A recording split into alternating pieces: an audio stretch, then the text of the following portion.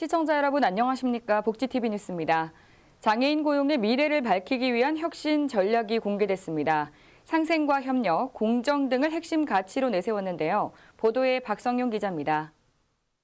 장애인 고용의 새로운 출발을 다짐하는 자리가 열렸습니다. 지난 7월 1일 한국장애인 고용공단은 공단 본부 대항당에서 장애인 고용의 향후 30년 도약을 위한 미래혁신 전략 비전 선포식을 개최했습니다. 선포식은 공단 조양현 이사장, 고용노동부 황보국 통합고용 정책국장 등이 참석한 가운데 공단의 새로운 시작을 다짐하는 시간을 가졌습니다. 이날 공단 조양현 이사장은 새로운 핵심 가치, 미래혁신 전략을 선포하며 앞으로의 비전을 함께 제시했습니다. 공개된 미래혁신 전략은 다 함께 일하는 사회를 만드는 장애인 고용 파트너를 비전으로 장애 공감, 상생 협력, 공정 투명을 핵심 가치로 내세웠습니다.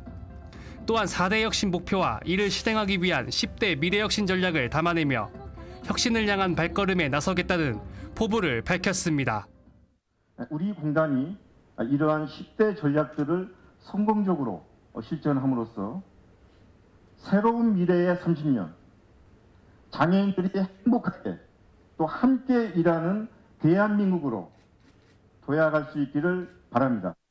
한편 이날 공단은 참석자들과 함께하는 영상 퍼포먼스와 홍보대사인 기타리스트 정성아, 김지희 씨의 축하 공연 등 다채로운 행사를 펼치며 장애인 고용 발전을 향한 의지를 드러냈습니다.